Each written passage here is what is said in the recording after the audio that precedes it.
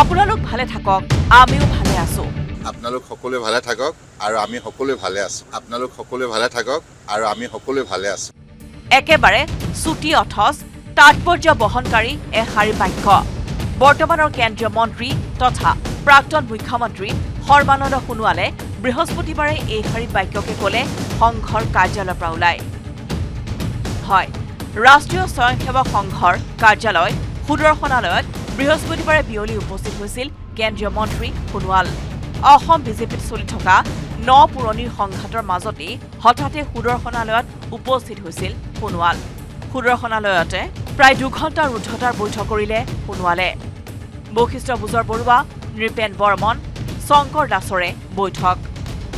পিছে কি কথা পাতিলে সৰ্বানন্দ সোণোৱালে?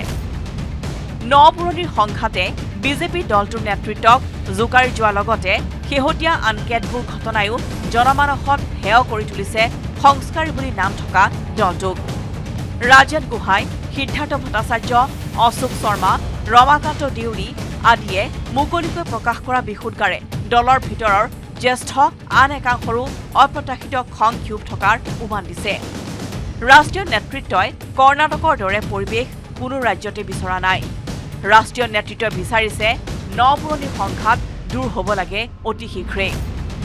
সংঘবদ্ধ হৈ নামিব লাগে নিৰ্বাচনী ৰণক্ষেত্ৰত। তেনেস্থলত সোণোৱাল আৰ এছ এছৰ কাৰ্যালয়লৈ যোৱা বিষয়টোত ন পুৰণিৰ মাজৰ সংঘাত দূৰৰ মধ্যস্থতাকাৰী সোণোৱালক দিয়া বুলি একাংশই চৰ্চা কৰিছে। হয়তো তাৰে এক অংশ হিচাপে সুদৰ্শনালয়লৈ কেন্দ্ৰীয় মন্ত্ৰী সোণোৱাল গৈছিল বুলিও ব্যাখ্যা আগবঢ়াইছে একাংশই। মই আহিলোঁ আৰু মই দাদাহঁতৰ লগত কথা পাতিলোঁ। বহুত দিন আহিব পৰা নাই। মাজতে দুই একবাৰ আহিবলৈ বিচাৰিছিলোঁ কিন্তু সেই সময়ত তেখেতসকল ইয়াত নাছিল। গতিকে আজি তেখেতসকলৰ লগত আলাপ আলোচনা কৰিলোঁ। আপোনালোক সকলোৱে ভালে থাকক আৰু আমি সকলোৱে ভালে আছোঁ। পিছে সংঘৰ কাৰ্যালয়ৰ পৰা ওলাই কাক উদ্দেশ্যি কলে? সৰ্বানন্দ সোণোৱালে আপোনালোকো ভালে থাকক আমিও ভালে আছো বুলি সাংবাদিকক নে আন কোনো পক্ষক। ৰাজু বৰুৱাৰ report news eighteen Assam north east.